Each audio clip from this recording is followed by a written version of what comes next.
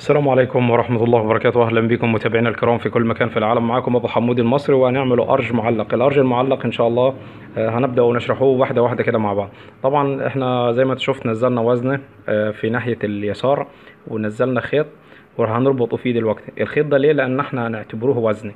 ماشي الخيط ده عبارة عن وزن هتمشي معانا على طول. كويس؟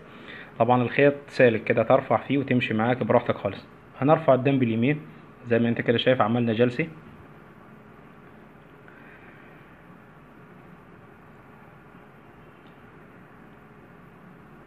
طبعا هنعمل جلسة زي ما انت عايز مثلا هنخلوها سبعين تمانين سنتي مفيش أي مشكلة. بعد كده هنبدأ نعمل الدوران هنبدأ نعمل دوران داخل لجوه كده. معانا مثلا دوران حديد المساحة بتاعتها تمانين آه، طولة مية وعشرين. هنبدأ نلف الدوران زي ما انت كده شايف.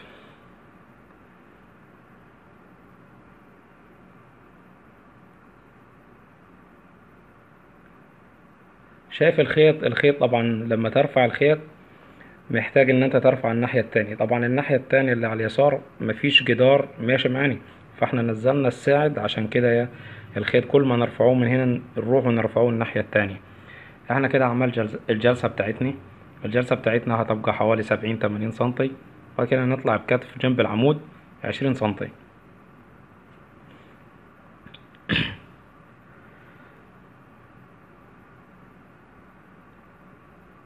طبعا الوزنات هتوزن جنب العمود وهتوزن من الداخل بحيث الكتف يطلع معاك مظبوط. بعد كده تبدأ بكتف الدوران عشرين سنتي تاني اللي هو هيمشي معاك ال- الدوران ده هيمشي معاك للآخر لفوق. زي ما أنت كده شايف معايا في الفيديو.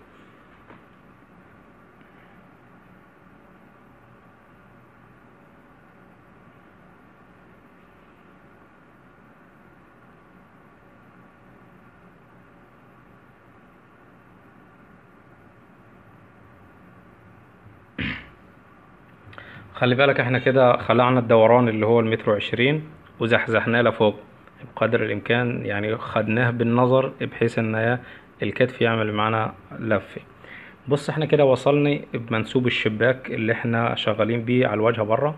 فحطينا سيخ ركز معايا. حطينا سيخ وهن... وهن... والسيخ دوت هنملاه هنملاه طوب. كويس؟ هيتملي طوب دلوقتي. إحنا ملينا السيخ طوب. للأسف في الحتة دي ما ظبطتش معانا في التصوير. اتصورت وما اتحفظتش. فسامحونا عاد.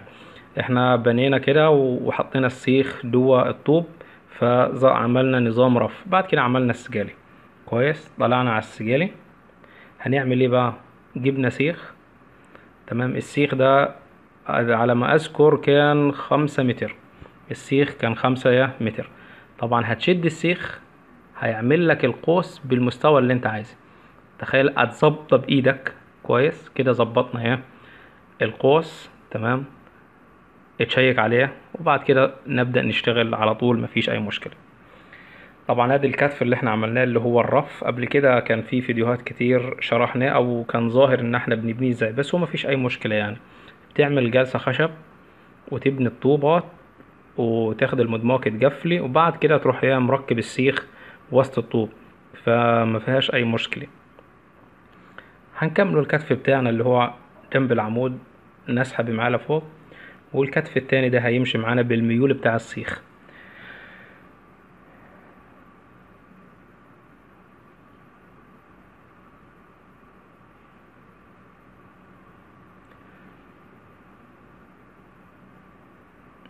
طبعا الساعد اللي نزلناه في أول الفيديو مساعدنا جامد في رفعة الخيط يعني بص إحنا كل ما نطلع بنرفع الخيط فمفيش أي مشكلة.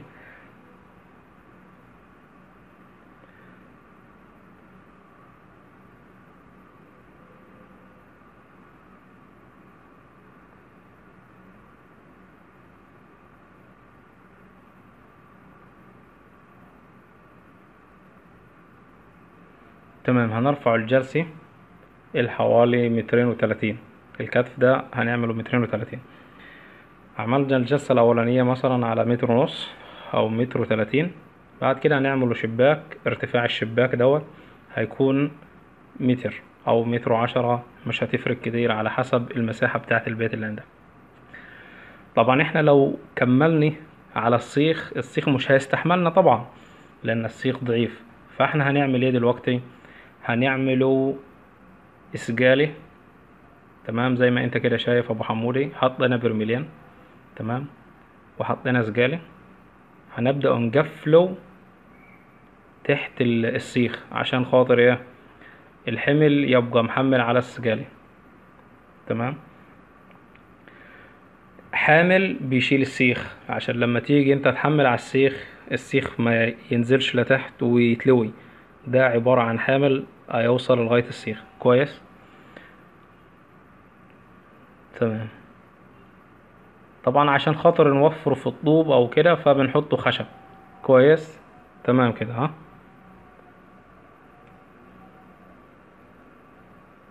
أي نعم.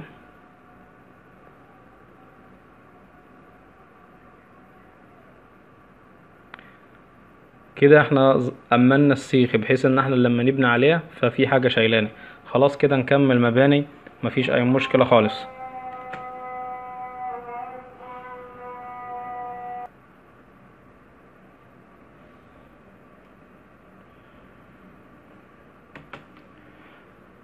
فهنبدأ ونرفع الكتف ونمشي مع السيخ طبعا. إحنا كده وصلنا الكتف لغاية الارتفاع اللي هو مترين تلاتين الارتفاع اللي إحنا محتاجينه يعني. مترين تلاتين أو مترين وأربعين الارتفاع اللي انت محتاجه. بعد كده تبدأ إيه؟ تقيس مساحة الشباك اللي انت عايزه. جبنا الدوران كويس. الدوران متر. نبدأ نلف الدوران عاد.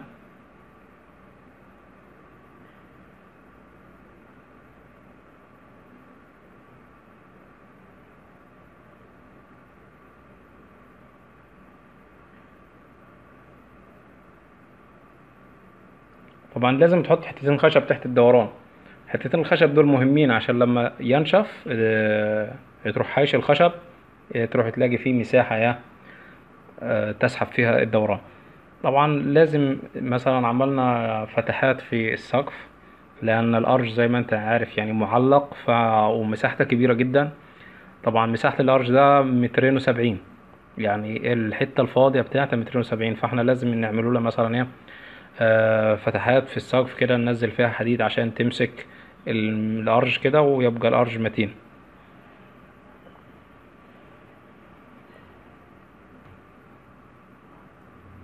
تمام خلينا نلف الدوران دلوقتي.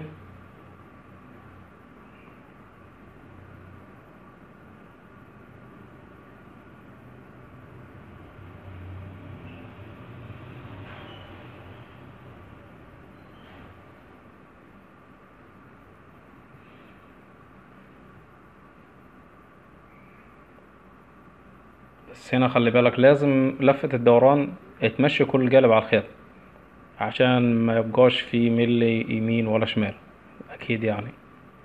ما ينفعش يعني تلف الدوران من غير ما الخيط يكون ماشي معاك طبعا هنعيد برضو إن اللي مساعدنا في رفعة الخيط اللي هو الساعد اللي نزلناه في أول الفيديو إن أنت على اليسار ما معكش حاجة تلك... تركب فيها الخيط يعني الحيطة دايما جنب واحد في الجنب التاني وروح تشد الساعد والخيط تربط هناك. أيوه شفت ابو حمودي راح رفع سنة بحيث إن هو يمشي معايا مع الخيط.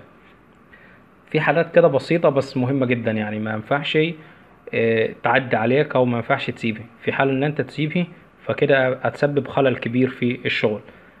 كويس؟ والحمد لله ظبطت معانا في الآخر جالب كويس. تمام. حلو خالص. إحنا كده هنبدأ عادي نقفله المساحة اللي قاعدة معانا وال arch ده آه، منظره جميل جدا وفي نفس الوقت ما واخدش طوب كتير. يعني هو ما خدش حوالي 400 قالب 350 قالب. ال arch كلها يعني ما عداش ال 400 قالب. تمام. طبعا هي اللف كله على السيخ. لو انت واخد بالك طبعا إحنا عملنا آه، السجالة اللي تحت السيخ دي كحامل. يعني هو اللي هو الحامل ده اللي هو شايل الطوب. فاحنا بنبني ومطمنين يعني لأن الحمل مش على السيخ الحمل على الطوب اللي هو تحت السيخ. كويس. تبدأ تقفل عادي ال- المدماج الأولاني كده مع السيخ.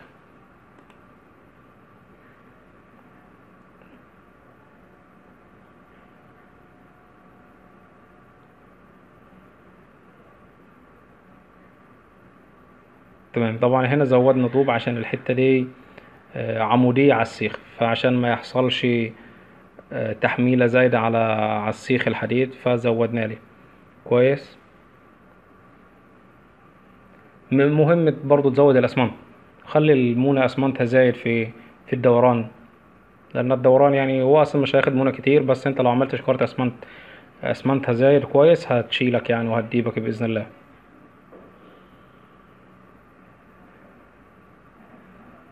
تمام. كده خلاص كده قفلنا الأرش اللفة الأولى. كويس. هنبدأ نعدل نحط إيه؟ اسياخ تمام. السياخ دي طبعا عشان خاطر آه، الارج طبعا إيه؟ ما ينفعش يعني ما ينفعش تعديه كده من غير ما تمتني. أدي السياخ أهي. إحنا ركبنا سياخ في اليمين وفي اليسار وفي برضو سياخ رايحة في السقف. تمام. بس هو يعني معلش التصوير كان مسافة بعيدة فما قدرتش نجيبه. إحنا وربطوا السياخ ولفوها بالكنات برضو كده قفلنا الحمد لله ال- الأرج زي ما أنتوا كده شايفين. نعبوا موني. كويس. ما تنساش طبعا بعد ما تخلص الدوران اتلف من من الخلف وتعبيه مونة كويس. تمام الحمد لله كده خلصنا الدوران. تاني يوم إن شاء الله حشنا الخشب وحشنا كل حاجة وده منظر الدوران اللي انت شايفه. كويس. ده بعد ما تفنش. تمام؟ بعد ما تفنش مباني. ده إن شاء الله بإذن الله الفيديو يكون عجبكم واستفدتوا مني. شكرا لكم واستنونا في فيديوهات تانية إن شاء الله تكون مفيدة لنا وليكم. ما تنسوش تشتركوا معنا في القناة وتفعلوا زر الجرس وتشاركوا الفيديو لو عجبكم. والسلام عليكم ورحمة الله وبركاته.